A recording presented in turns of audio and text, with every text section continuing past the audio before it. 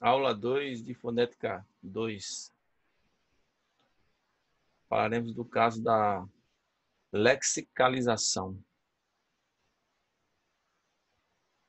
Simplificando, podemos dizer que o lexo consiste de um conjunto de itens lexicais e de suas respectivas propriedades relevantes para a organização da gramática. Falando do português tem, por exemplo, uma entrada lexical como planeta, cujas propriedades listadas podem ser substantivo masculino. Cada palavra é associada a uma entrada lexical. No caso da palavra planeta, todos os falantes têm a mesma entrada lexical e as mesmas propriedades específicas. Substantivo masculino. Há, contudo, exemplos como Guaraná ou telefonema, que não apresenta a mesma entrada lexical para todos os falantes. Para alguns falantes, há especificação de que estas palavras são masculinas, o Guaraná, o telefonema. E para outros falantes, a especialização de que essas palavras são femininas, a Guaraná, a telefonema. Dizemos neste caso que para as palavras Guaraná, telefonema, o gênero é especificado lexicalmente, podendo ter duas alternativas possíveis, masculino ou feminino. Não há uma opção melhor, pior ou certa errada. Dizemos que a lexicalização deste item para os falantes determina a forma a ser adotada. No caso de Guaraná, telefonema, temos que a mesma entrada lexical tem propriedades específicas diferentes. Há um outro caso de lexicalização que envolve palavras que têm a entrada lexical diferente e as mesmas propriedades específicas. Para alguns falantes, as formas vassoura, assovio, são substantivos sendo vassoura feminino e assovio masculino. Para outros falantes, as formas vassoura, assovio não existem. As formas correspondentes com o mesmo significado e as mesmas propriedades específicas são vassouras, assobio, estas formas são substantivos, sendo basura feminino e assobio masculino. Pode ser que um falante tenha as entradas lexicais vassoura e assobio. O falante faz uso da forma registrada em seu léxico. léxico. Finalmente, há casos de uma palavra apresentar duas formas lexicalizadas diferentes para o mesmo falante. Um exemplo é a palavra ruim, que para inúmeros falantes de português pode ser pronunciada como ruim, ruim, né? O acento no i, ruim, ou acento no ruim. O símbolo indica a alternância entre formas, então dependendo da situação que você colocar, né? Podemos concluir que não há variantes melhor ou pior de uma língua. Há, varia... há variantes de prestígios estigmatizadas ou neutras, para definir as propriedades a serem adotadas em sua variedade pessoal. Um falante conta com várias fontes de informação linguística e não linguística de outros falantes, mesmo que a seleção não se dê conscientemente, define-se opções e caracterizam-se assim as particularidades de fala de um indivíduo, ou seja, um idioleto. O que é interessante é que, embora toda, embora todo e qualquer indivíduo tenha características específicas em sua fala, há uma enorme porção compartilhada com outros indivíduos. E define-se assim os dialetos ou variantes de uma língua. Consideremos a seguir algumas variantes não linguísticas que deixam marcas na organização linguística. A fala de homem e da mulher, por exemplo, né? Se faz marcar na organização linguística. Temos variantes de sexo, masculino ou feminino. No português mineiro, observamos que o uso do diminutivo é recorrente na fala feminina. Olha que gracinha aquele vestidinho amarelinho.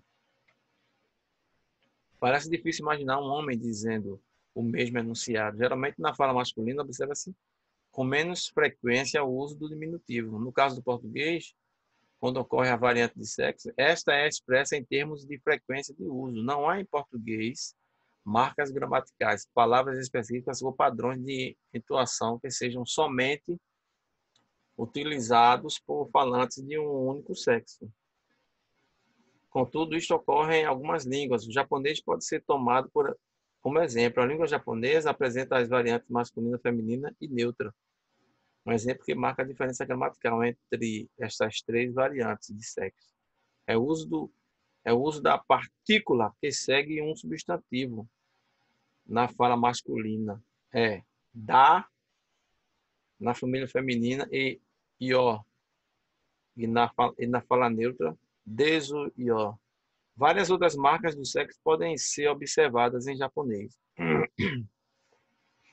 Contamos também com variantes etárias. Note que pessoas mais idosas, por exemplo, são mais propensas a pronunciar o R final das formas de infinitivo de, dos verbos. Por exemplo, cantar ou S. Plurais de substantivo. Os meninos. Jovens tendem a omitir estes sons neste contexto. Canitar e os meninos ou cantar.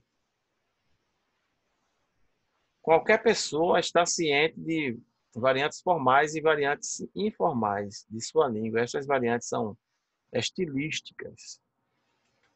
Claro que namorar ou brincar com os filhos envolve o uso de uma variante diferente daquela utilizada em um encontro formal, em uma entrevista de emprego ou numa corte de justiça fazer uso da linguagem certamente leva-nos a compartilhar de princípios sociais e linguísticos. Estes princípios são determinados sem nenhum encontro específico dos falantes para tal finalidade, ou de uma lei ou decreto criados especificamente para este fim. Entretanto, tais princípios são compartilhados pelo, pela comunidade em questão e são parte do universo dinâmico e passíveis de mudanças a cada instante.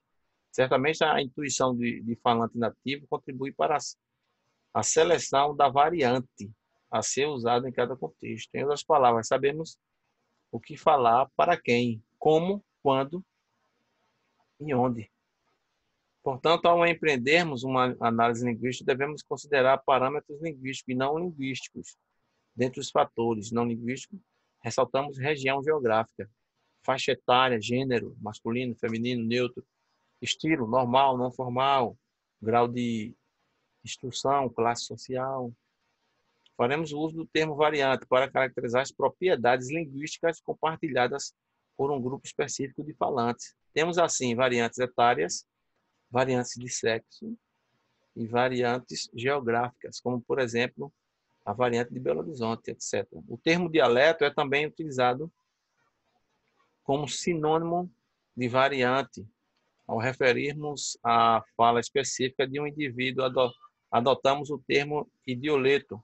As propriedades particulares de fala de um indivíduo caracterizam seu idioleto. Por exemplo, aquela tem uma música que que cantamos gospel que é chamada Não há Deus maior, não há Deus melhor, né? Que na, na, na língua de Guiné-Bissau começa Dessumar Bocaté. Vai começar assim, que é a, a tradução de Não há Deus maior.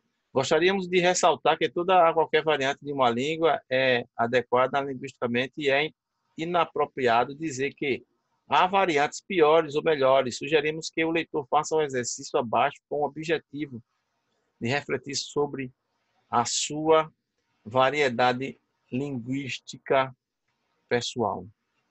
Esse foi o texto que trabalhamos hoje. Falamos sobre variante, dialeto, variantes etárias, falamos de variantes formais, variantes informais, falamos de variante de sexo, né?